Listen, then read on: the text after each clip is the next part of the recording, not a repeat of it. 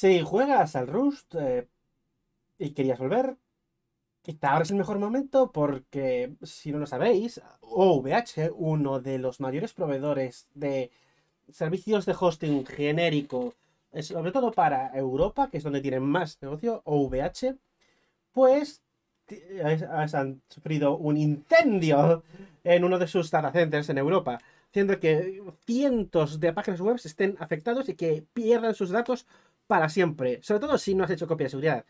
Tú debes tener copia de seguridad en lo que tienes físicas diferentes. Linux Tech ya explicó cómo suelen tener un servidor a varios cientos de kilómetros desde donde están y que pueden acceder a él, aunque sea una copia un poco tardía, pero que no pierdan absolutamente todo.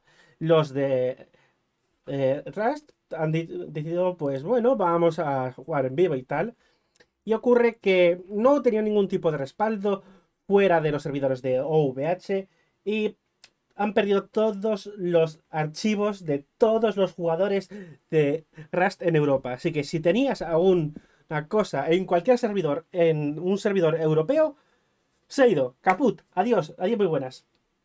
¿Qué hemos aprendido? Como esto, eh, compra siempre un resguardo de tus archivos más importantes y ponlo lejos por si ocurre cualquier cosa.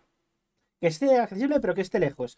Eh, indica que no, es decir, que no basta que esté en otro servidor distinto, es que debe estar en otro data center. Si, pues, eh, eso si eres empresario. Si eres una persona normal, cógete uno o dos o, cógete un NAS y cógete un disco duro externo físico que esté siempre contigo. O para menos las cosas importantes. Debes tener tres copias de seguridad en, dos, al menos en dos formatos distintos, uno físico y otro digital a ser posible, y uno en una opción físicamente distinta. 3, 2, 1. Tres copias de seguridad, dos formatos distintos, o, uno de ellos fuera de donde estés normalmente. Es lo básico de seguridad y los de, aquí, eh, de Rust han dicho, no vamos a hacerlo.